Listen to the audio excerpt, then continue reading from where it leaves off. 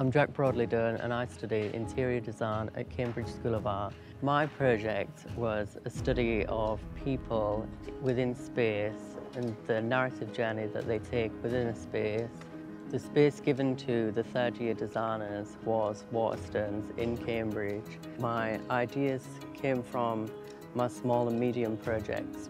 I kind of looked at the way people interact between two floors. I created a few tubes so that you could see people downstairs. The idea behind that was to kind of like expose the user and make them think about how creepy it is to post like pictures of yourself on social media without thinking about the consequences.